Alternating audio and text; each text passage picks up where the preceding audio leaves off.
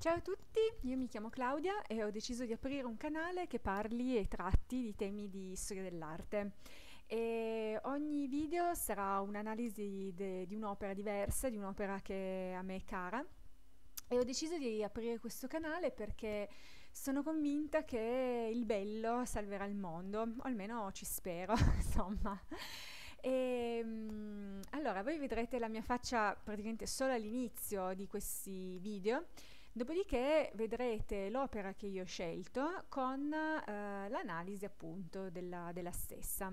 Se avete poi dei suggerimenti per quanto riguarda le opere da, da trattare, sono assolutamente i benvenuti e ben accetti, va bene? Allora, buona visio- visione, scusate, sono molto emozionata, buona visione e eh, buon ascolto. Eccomi, allora come vi dicevo poc'anzi, sentirete la mia voce, ma vedrete poi direttamente l'opera che vado ad analizzare. Oggi ho scelto di iniziare con uh, i bronzi di Riace, questo essenzialmente per due motivi. Il primo per rendere omaggio ai miei genitori che sono originari della Calabria.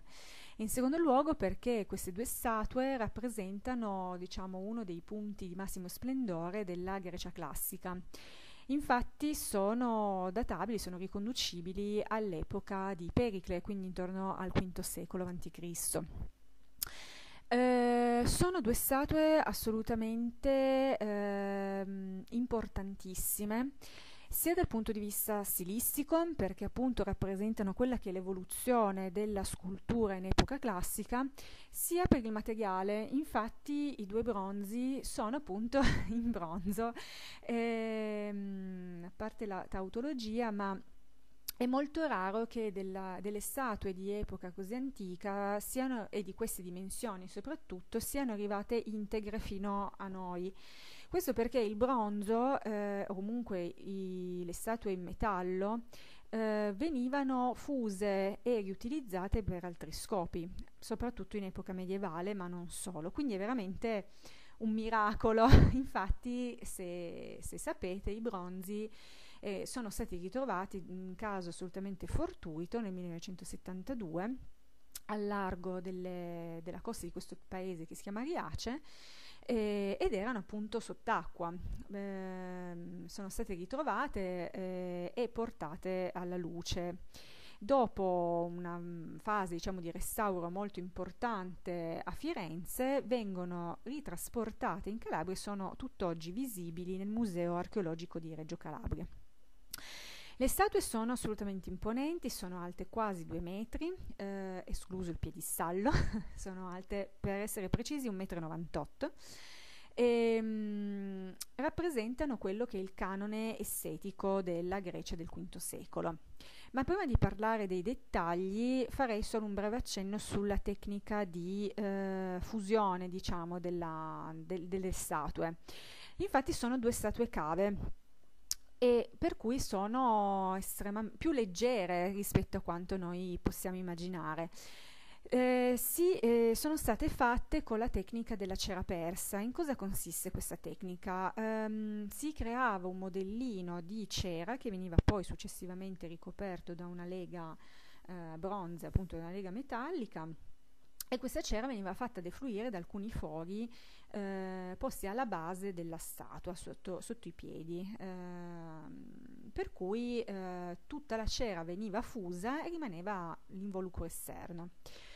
Um, la particolarità di queste due statue è che sono giunti fino a noi anche eh, i particolari del corpo e questo ci fa intuire che non venissero usate solo leghe metalliche, leghe bronze, diciamo la lega bronzea per il corpo, ma venivano utilizzati anche altri materiali per i particolari, ad esempio il rame per l'incarnato delle labbra, l'argento per le ciglia e l'avorio e pietre dure per l'occhio e la pupilla e il rame anche per i capezzoli che veniva utilizzato quindi per le parti più diciamo rosse del, del corpo.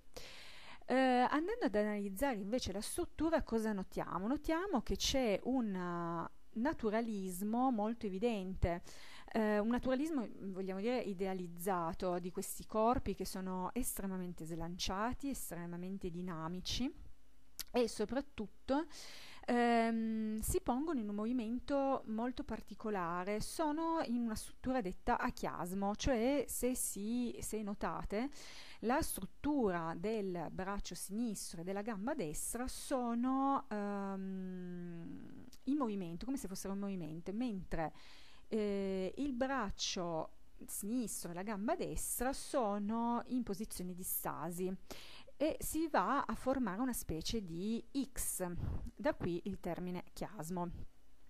Io farei anche, noterei anche la realizzazione assolutamente molto particolareggiata dei riccioli di barba e capelli di entrambi. Um, probabilmente questi sono da intendersi come due atleti o due guerrieri. Mm, forse due guerrieri, non lo sapremo mai, nel senso che, come vedete, in entrambi al braccio sinistro c'è questo appiglio che probabilmente doveva sostenere uno scudo, mentre nella mano destra, data la particolare posizione della mano, è probabile che eh, tenessero una lancia, ma non sono, sono diciamo, mh, oggetti che non sono giunti fino a noi. Eh, appunto, come dicevo prima, il, la, l'intera struttura anatomica è dettagliatissima e molto studiata. Questo presuppone una conoscenza molto avanzata di quello che era il corpo maschile e, eh, è un balzo in avanti rispetto alla statuaria greca arcaica, dove il corpo era, diciamo, molto stilizzato e, e non c'era questa cura del particolare e eh, soprattutto um, va un po' in controcorrenza anche eh, rispetto all'arte egizia, dove invece la statuaria è sicuramente di po- proporzioni più imponenti e, um, e, non è sicuramente naturalistica, diciamo. Eh, per cui questa, diciamo, è la Mm, l'analisi molto veloce della, delle due statue.